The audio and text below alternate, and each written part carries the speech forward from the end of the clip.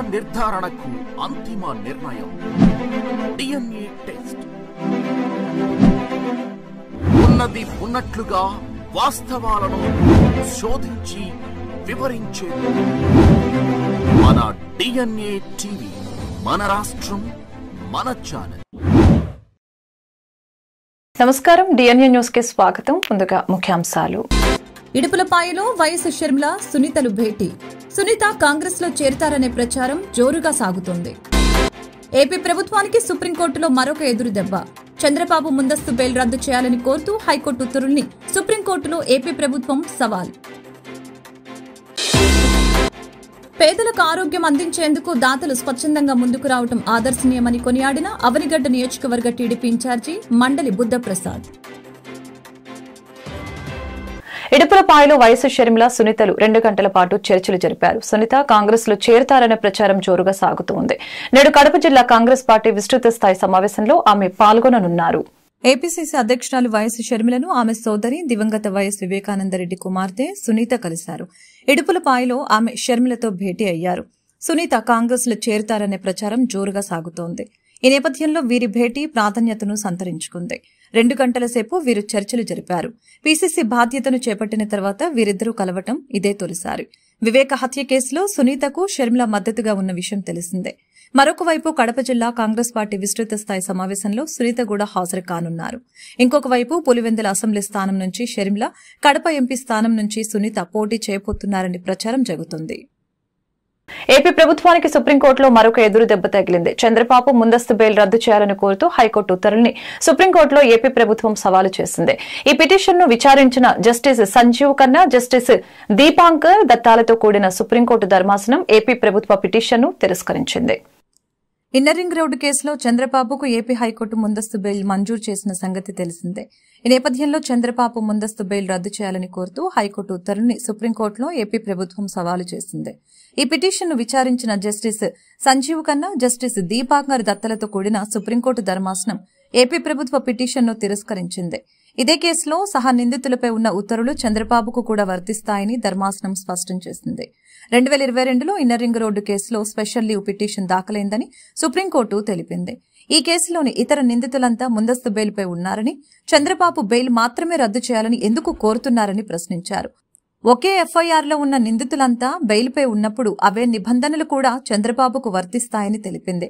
చంద్రబాబుకు నోటీసులు ఇవ్వడానికి కూడా సుప్రీంకోర్టు నిరాకరించింది.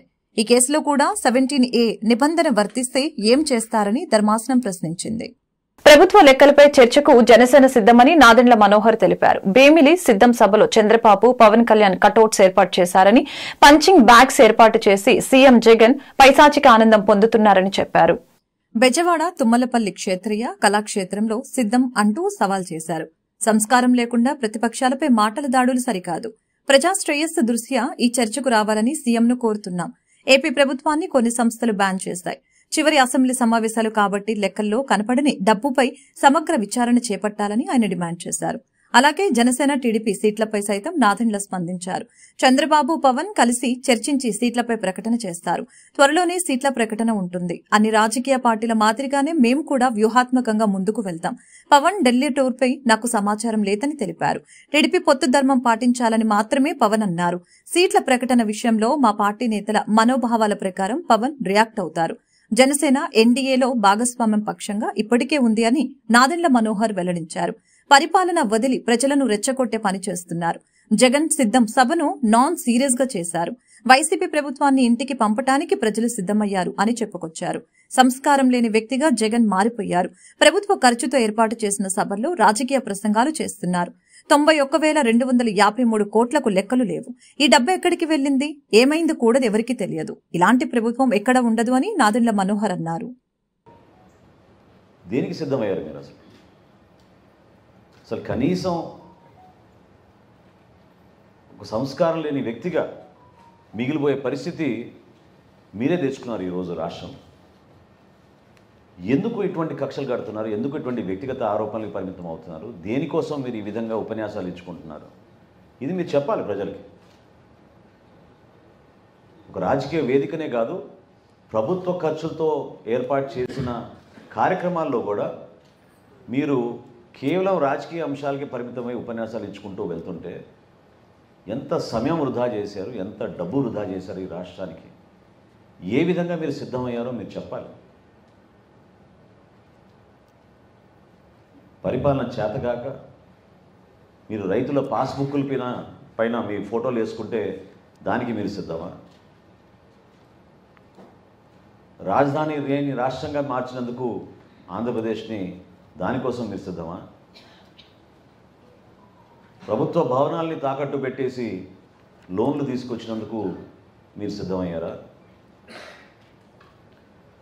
గంజాయిని రాష్ట్ర వ్యాప్తంగా చిన్న చిన్న గ్రామాల్లో కూడా విస్తరించి అమ్మించే పరిస్థితి తీసుకొచ్చినందుకు మీరు సిద్ధమయ్యారా? మూడు వేల మంది సుమారు కౌలు రైతులు ప్రాణాలు కోల్పోతే ఆత్మహత్యలు చేసుకుంటే వాళ్ళ కుటుంబాలను ఆదుకోలేని పరిస్థితిలో దేనికి మీరు సిద్ధమయ్యారు? పోలవరం ప్రాజెక్ట్ని ముంచేసినందుకు మీరు సిద్ధమయ్యారా? పేద ప్రజల కోసం ఇళ్ళ స్థలాలని చెప్పి పెద్ద పెద్ద ప్రకటనలు చేసి అర్భాటంగా కార్యక్రమాలు ఏర్పాటు చేసి ముప్పై ఐదు వేల కోట్ల రూపాయలు ప్రైవేట్ భూములు కొనుగోలు చేసి అతిపెద్ద స్కామ్ చేసినందుకు మీరు సిద్ధమయ్యారా? ఇసుక దోపిడీ ద్వారా నిర్మాణం రంగం పూర్తిగా కుదిలమైతే భవన నిర్మాణ కార్మికులకి మరొకసారి మీరు మోసం చేయడానికి మీరు సిద్ధమయ్యారా? యువత కోసం డిఎస్సి నోటిఫికేషన్ కానీ జాబ్ క్యాలెండర్ కానీ పదే పదే మీరు ప్రకటనలు చేసుకుంటూ వస్తున్నందుకు సిద్ధమయ్యారా? పరిశ్రమల్ని మన రాష్ట్రం నుంచి తరిమికొట్టే విధంగా మీరు సిద్ధమయ్యారా? అసలు రోడ్ లేని పరిస్థితి తీసుకొచ్చి కనీసం గుంతలు కూడా పూడ్చలేని దుస్థితికి మీరు సిద్ధమయ్యారా? కేసినేని నాని జోగి రమేష్ వసంతకృష్ణ ప్రసాద్ పై మాజీ మంత్రి దేవినేని ఉమా నిప్పులు చెరిగారు. ప్రజల ఆరోగ్యంతో ఎమ్మెల్యే మంత్రి వైసీపీ నాయకుల అనుచరులు ఆట్లాడుకుంటున్నారని మండిపడ్డారు. ప్రజల ఆరోగ్యాన్ని పరంగా పెట్టి బూడిద అక్రమ రవాణా చేస్తున్న వైసీపీ దొంగల మాఫియా అంటూ ఫైర్ అయ్యారు. తెలుగుదేశం పార్టీ కౌన్సిలర్లు పార్టీ నేతలతో కలిసి మాజీ మంత్రి Devineni Uma Ibrahimpatnam water head works వద్ద బూడిద కలిసే ప్రాంతాన్ని పరిశీలించారు.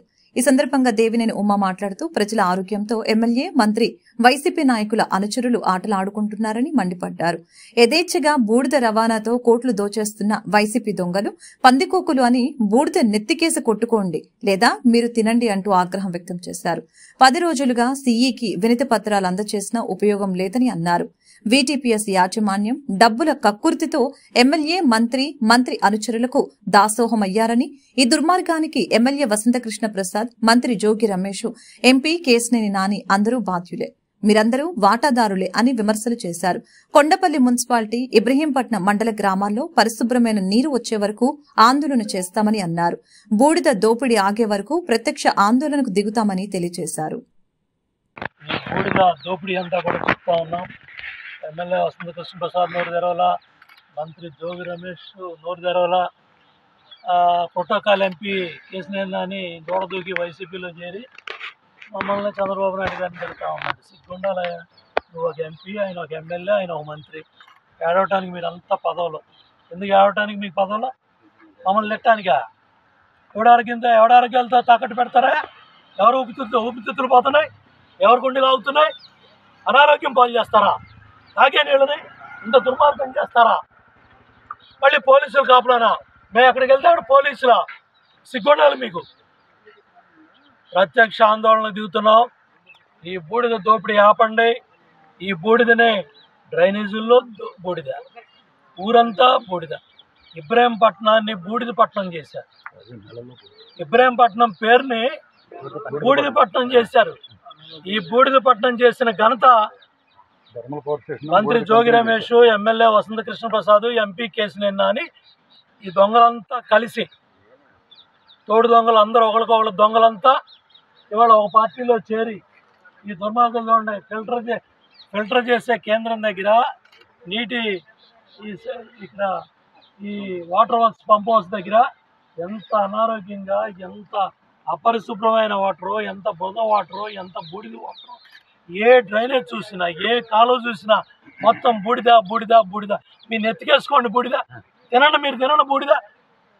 చెప్తున్నాను సీఏకే పీటీపీఎస్ యాజమాన్యానికి ఎమ్మెల్యే కృష్ణప్రసాద్కి మంత్రి జోగి రమేష్కి ఎంపీ కేసినాని అందరికీ చెప్తున్నా ఈ దుర్మార్గాలకు మీరందరూ భాగస్వాములే.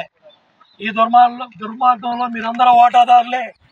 కాబట్టి ప్రత్యక్ష ఆందోళనకి మా కౌన్సిలర్స్ మా మున్సిపాలిటీ ఏదైతే ప్రతి ఒక్క నాయకుడు మండలం ప్లస్ అందరం కూడా ప్రత్యక్ష ఆందోళన ఆందోళన దిగుతున్నాం. ఈ దోపిడీ ఆగే వరకు పరిశుభ్రమైన నీరు ప్రతిరోజు ఈ మండలంలో గ్రామాల్లో మున్సిపాలిటీలో ప్రజలకు వచ్చే వరకు కూడా మా పోరాటాన్ని వివిధ రూపాల్లో రేపటి నుంచి తెలియజేస్తాం. పేదలకు ఆరోగ్యం అందించేందుకు దాతలు స్వచ్ఛందంగా ముందుకు రావడం ఆదర్శనీయమని అవనిగడ్డ నియోజకవర్గ టీడీపీ ఇన్ఛార్జి మండలి బుద్ధప్రసాద్ అన్నారు. ఆదివారం మోపిదేవి మండలం పరిషత్ ఆదర్శ ప్రాథమిక పాఠశాలలో ఎన్టీఆర్ మోపిదేవి మండల టీడీపీ మాజీ అధ్యక్షులు దివంగత కొల్లి చక్రపాణి జ్ఞాపకార్థంగా మెగా ఉచిత వైద్య శిబిరాన్ని నిర్వహించారు. సహకార రంగ ప్రముఖులు పరుచూరి అంజయ్య మనవడు లీలాకృష్ణ ఆర్థిక సహాయంతో ఏర్పాటు చేసిన ఈ శిబిరాన్ని బుద్ధప్రసాద్ ముఖ్య అతిథిగా విచ్చేసి ప్రారంభించారు. చక్రపాణి గారి స్మృత్యార్థం మెగా వైద్య శిబిరాన్ని ఏర్పాటు చేయడం చాలా ఆనందదాయక విషయం. ఈ కరోనా తర్వాత ఆరోగ్యపరంగా అనేక సమస్యలు ఉత్- ఉత్పన్నమవుతున్నాయి. ప్రత్యేకించి గుండెకు సంబంధించిన సమస్యలు కూడా చాలా ఎక్కువగా వస్తున్న పరిస్థితి అలాంటి పరిస్థితుల్లో వాళ్ళ పేద ప్రజానికానికి ఉపయోగపడే విధంగా ఈ మెగా వైద్య శిబిరాన్ని ఏర్పాటు చేయడం చాలా సంతోషదాయకం ప్రత్యేకించి పెద్దలు పూజ్యులు పట్టు రంజీ గారి మనవడు వీరాకృష్ణ అతను అమెరికాలో ఉంటాడు. ఇటీవల ఆయన వివాహం అయింది. వివాహ వార్షికోత్సవం కూడా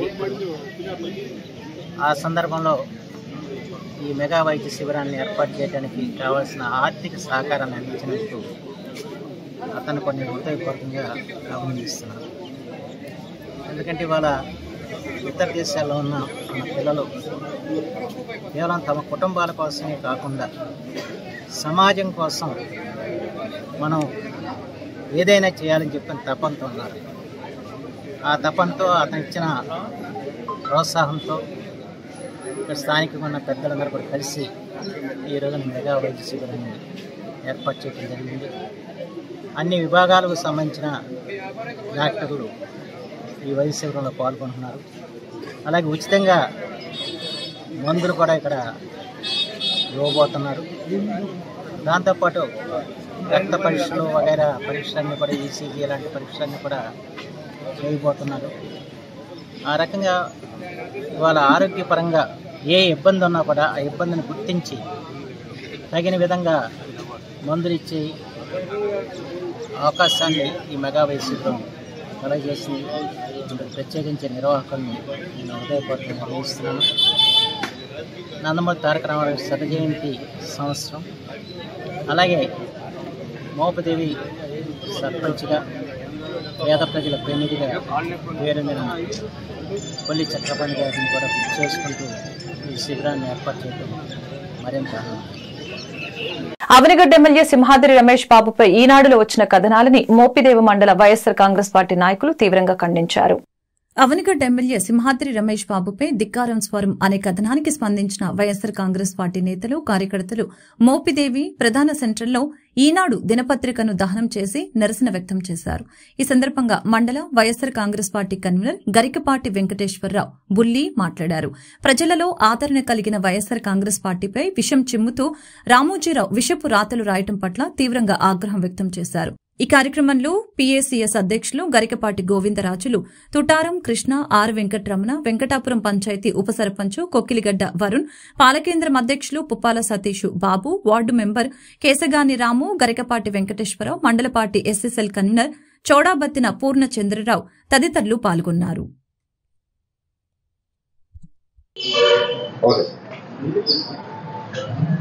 మొదటి నుంచి మన ఆంధ్ర రాష్ట్రంలో ఇల్లో మీడియా. దుష్ప్రచారం. ఎంతటి దుష్ప్రచారం అంటే గతంలో చేసిన పనులు జగన్మోహన్ రెడ్డి గారు ఇప్పుడు చేసిన పనులకి వ్యత్యాసం చూపించే దాంట్లో కూడా ఒక పేపర్ ద్వారా దుర్మార్గంగా చూపించడం జరుగుతుంది. అవన్నీ రికార్డెడ్గా ఉండేవి పెన్షన్స్ ఇవ్వని గవర్నమెంట్ అప్పులు కానీ ఏదైనా సరే రికార్డెడ్గా ఉండేది. ఆ రికార్డెడ్గా ఉండేదాన్ని కూడా మాయ చేయడంలో పచ్చ మీడియా దుష్ప్రచారం చాలా దుర్మార్గం దుర్మార్గంగా ఉంది. దానికి నిర నిదర్శనం ఈరోజు ఈనాడు పేపర్లో మా ఎమ్మెల్యే గారి గురించి రమేష్ గారి గురించి మాట్లాడుతున్నది చాలా ఇడ్డూరంగా ఉంది. నూట డెబ్బై ఐదు మంది ఎమ్మెల్యేల్లో చాలా మంచితనంగా అందరితో కలుపుకుని వెళ్ళే మనిషిగా పేరు రాష్ట్రంలో పొందితే ఆయన్ని పట్టుకుని ఎంపీ టికెట్ పోటీ చేయమన్నారు. ఎంపీ టికెట్ నేను పోటీ చేయను. నియోజకవర్గం ఇస్తే చేస్తాను లేదంటే అది కూడా చేయను అనేది దుష్ప్రచారం. వాళ్ళు మీడియా మానుకోవాల్సిన అవసరం ఉంది. ఎవరైనా వెళ్తానంటే రాసుకోమను తప్పులేదు కానీ ఇట్ట మోసపూరితం ఇంకెంతకాలం చేస్తాడా రామోజీరావు గారు? ఏబి అన్నైనా ప్రజలకి అందరికీ అర్థమైంది. ఆ పేపర్ చదవటమే దండగ అనుకుంటున్నారు అలాంటి పరిస్థితుల్లో ఇంకా దీన్ని మేము తీవ్రంగా ఖండిస్తున్నాం. మా ఎమ్మెల్యే గారు రమేష్ గారు ఎప్పుడూ కూడా జగన్మోహన్ రెడ్డి గారు ఏది చెబితే అది శిరసాహించి ఆయన అడుగులో అడిగేస్తానే కానీ నేను ఎప్పుడు తప్పటడుగైని చెప్పని మా అందరితో కూడా ఏ మీటింగ్లో సందర్భం వచ్చినప్పుడు కూడా ఎప్పుడు మాట్లాడడం జరుగుతుంది. రేపు ఏదైనా సరే మా నాయకుడు జగన్మోహన్ రెడ్డి గారు ఏది చెబితే దానికి నిలబడి పనిచేయటమే మా కర్తవ్యంగా మా ఎమ్మెల్యే గారు మాకు చెప్పడం మేము కూడా అదే విధంగా ఆలోచనలో ఉన్నామని మీడియా మిత్రులందరూ కూడా తెలియజేస్తాం ఈ నెల ముప్పై ఒకటో తేదీన బుధవారం నాడు సాయంత్రం నాలుగు గంటలకు కాకినాడ జిల్లా ప్రతిపాడు నియోజకవర్గంలో ఏలేశ్వరంలో ఎన్ కన్వెన్షన్ ఫంక్షన్ హాల్లో జరగబోయే ఏలేశ్వర మండల జయహో బీసీ కార్యక్రమాన్ని విజయవంతం చేయాలని మండల బీసీ నాయకులు పిలుపునిచ్చారు. ఈ సందర్భంగా ముది నారాయణ స్వామి మీడియాతో మాట్లాడారు. మరి ఏలేశ్వరం పట్టణంలోని ఈ కార్యక్రమాన్ని ఏర్పాటు నిమిత్తం కూడా రేపు అంటే ఎల్లుండి బుధవారం అనగా ముప్పై ఒకటో తారీఖున మరి ఏలేశ్వరం పట్టణంలోని లింగంపతి రోడ్లో గల ఎన్ కన్వెన్షన్ సెంటర్లో ఈ జేహోబీసీ అనే కార్యక్రమాన్ని మన గౌరవనీయురాలు మా సోదరి అయినటువంటి మా ప్రతిపాటి నియోజకవర్గ ఇన్ఛార్జ్ ఉరుపుల సత్యప్రభ రాజా గారు మరి ఆధ్వర్యంలోని ఈ కార్యక్రమం జరుగుతుందండి. మరి ఈ కార్యక్రమానికి మరి మా జిల్లా నాయకులైనటువంటి గౌరవనీయులు జిల్లా ప్రెసిడెంట్ గారు మరి పైలా సాంబశివరావు ఆధ్వర్యంలో అలాగే మా మా ఏలేశ్వరం మండలం అలాగే ఏలేశ్వరం నగర పంచాయతీకి సంబంధించినటువంటి బీసీ సోదర సోదరి అందరూ కూడా మరి ఈ కార్యక్రమానికి విచ్చేసి మరి దిగ్విజయంగా మరి భారీ ఎత్తున ఈ కార్యక్రమం జరిపించే విధంగా తోడ్పాటును అందించగలరని చెప్పి మేము కోరుచున్నామండి. ఎందుచేతనంటే చంద్రబాబు నాయుడు గారు మరి ఈ గత ఐదు సంవత్సరాల నుంచి కూడా ప్రతిపక్ష పాత్ర వహించడం అలాగే ఈ ప్రభుత్వం ఏవైతే ఉందో మరి జగన్మోహన్ రెడ్డి గారి ప్రభుత్వం బీసీలను ఈ ఐదు సంవత్సరాలు కూడా అనగదొక్కే ప్రయత్నం అంటూ చేస్తూ వస్తుంది. ఎందుచేతనంటే మరి ఆయన పెట్టిన స్కీములన్నీ కూడా సుమారుగా ముప్పై పథకాలను బీసీలకు వ్యతిరేకంగా తీసివేయడం జరిగిందండి. మరి ఆయన సంక్షేమ పథకాలు అందిస్తాను ప్రజలందరినీ బాగా చూస్తాను. మా బీసీలు మా ఎస్సీలు మా ఎస్టీలు అని ఎప్పుడు నినాదాలు చేస్తూ ఉంటాడు ఈ ముఖ్యమంత్రి గారు. మరి ఏ రోజున కూడా బీసీలు పట్టించుకుని పాపన పోలేదండి. బీసీలకు వెనుముఖంగా ఏర్పడినటువంటి పార్టీ తెలుగుదేశం పార్టీ.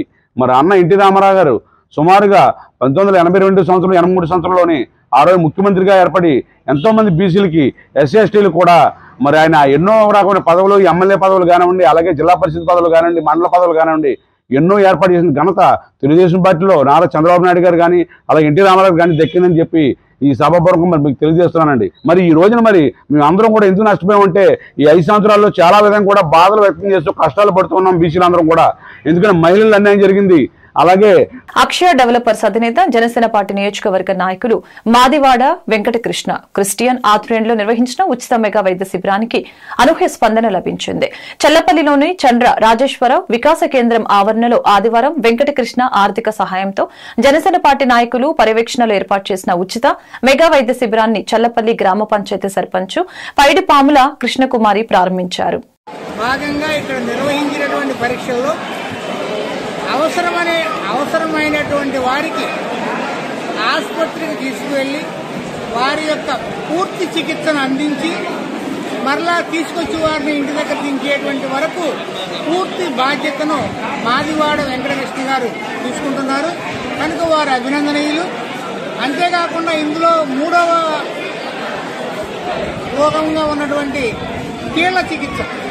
మోకాళ్ళకు సంబంధించిన చికిత్సలు కానీ కీళ్ళకి రోగాలకు కానీ దానికి కూడా ప్రధానంగా చికిత్స అందించడం జరుగుతుంది. ఈ మూడు రోగ మూడు అనారోగ్య సమస్యలకు కూడా పూర్తి బాధ్యత తీసుకుని ఏ విధమైనటువంటి ఇబ్బందులు లేకుండా ఒక రూపాయి ఖర్చు కూడా లేకుండా వారికి అందించాలనేటువంటిది మాదివాడ కృష్ణ గారి యొక్క ముఖ్య ఉద్దేశంగా తెలియజేస్తుంది తెలుగుదేశం అధినేత నారా చంద్రబాబు నాయుడు సోమవారం తూర్పుగోదావరి జిల్లా రాజమండ్రిలో రా కదలిరా బహిరంగ సభ నిర్వహించారు. ఈ సందర్భంగా ఆయన మాట్లాడారు.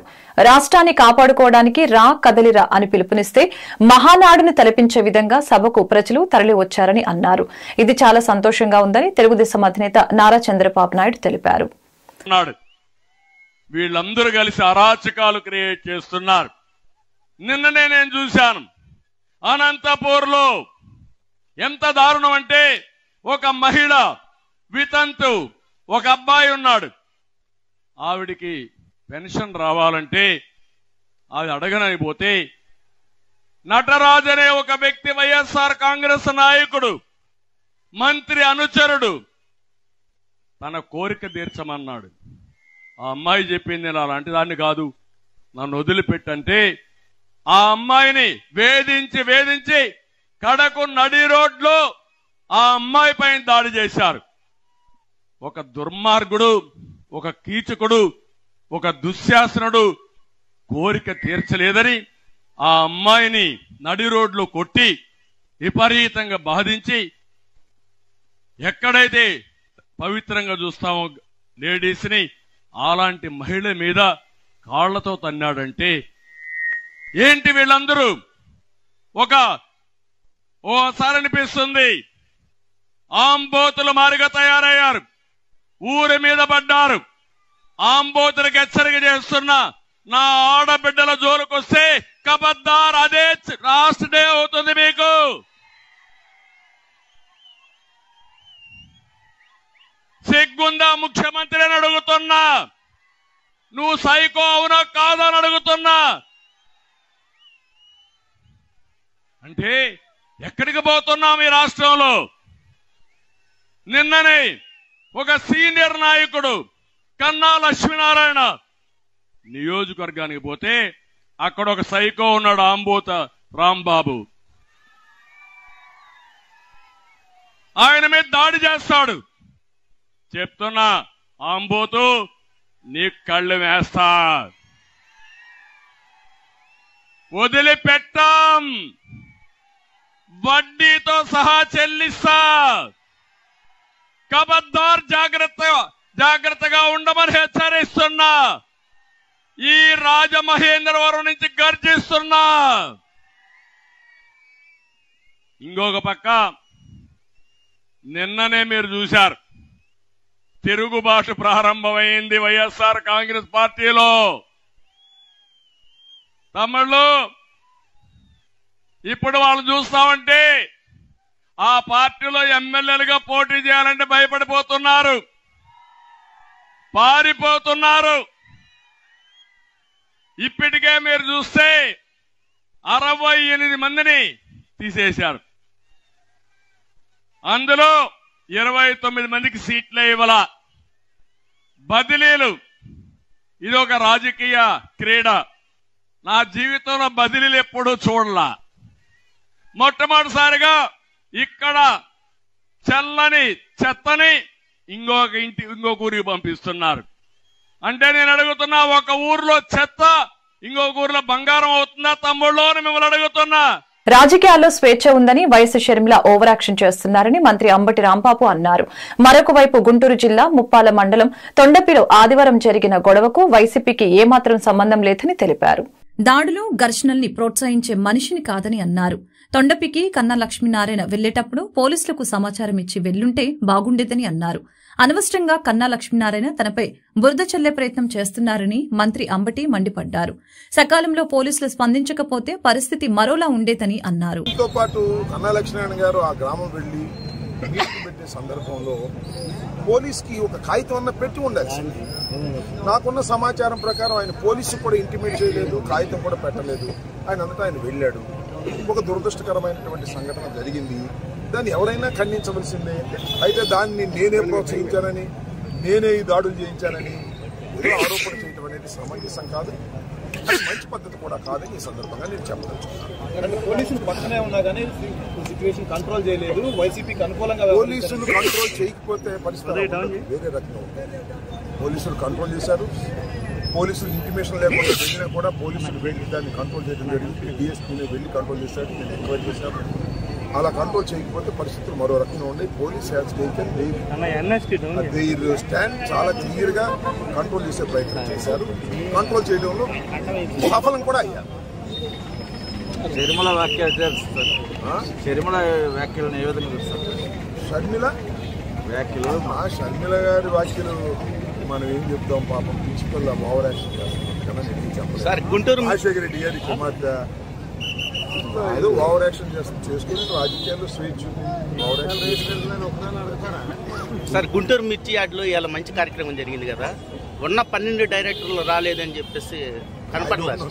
నన్ను లోకల్గా అడగండి నేను గెస్ట్గా వచ్చాను. ఓపెన్ చేశాను వెళ్ళాను. ఏమైనా వర్గపోరు ఏమైనా ఉందని వర్గపోర్లు ఏమి ఉండవు. అన్ని ఊరినే ఎవరైనా ఉంటే మీడియా సృష్టి ఏదైనా ఉంటే ఉండొచ్చు. ఆ ఈనాడు వర్గపోర్లు ఏమి లేవు అందరూ జగన్మోహన్ రెడ్డి గారి నాయకత్వంలో పనిచేసే వాళ్ళే తప్ప వర్గపోర్లు ఏదో చిన్న చిన్న అభిప్రాయ భేదాలు ఉంటాయి అన్ని సెట్ అయిపోతాయి. కామన్. అంటే మిర్చి చరిత్రలో డైరెక్టర్ లేకుండా ఇలాంటి కార్యక్రమం జరగలేదు కదా సార్? ఏది? TV nine? వార్తలు ముగించే ముందు ముఖ్యాంశాలు మరొకసారి. ఇడుపులపాయలో వైఎస్ షర్మిల సునీతలు భేటీ. సునీత కాంగ్రెస్లో చేరతారనే ప్రచారం జోరుగా సాగుతోంది. ఏపీ ప్రభుత్వానికి సుప్రీంకోర్టులో మరొక ఎదురుదెబ్బ చంద్రబాబు ముందస్తు బెయిల్ రద్దు చేయాలని కోరుతూ హైకోర్టు ఉత్తర్వుల్ని సుప్రీంకోర్టులో ఏపీ ప్రభుత్వం సవాల్. పేదలకు ఆరోగ్యం అందించేందుకు దాతలు స్వచ్ఛందంగా ముందుకు రావడం ఆదర్శనీయమని కొనియాడిన అవనిగడ్డ నియోజకవర్గ టీడీపీ ఇన్ఛార్జి మండలి బుద్ధప్రసాద్. ఈ వార్తలు ఇంతటితో సమాప్తం. మరొక బులెటిన్ మళ్ళీ కలుద్దాం. నమస్కారం. నిజ నిర్ధారణకు అంతిమ నిర్ణయం. DNA test. ఉన్నది ఉన్నట్లుగా వాస్తవాలను శోధించి వివరించే మన డిఎన్ఏ టీవీ మన రాష్ట్రం మన ఛానల్.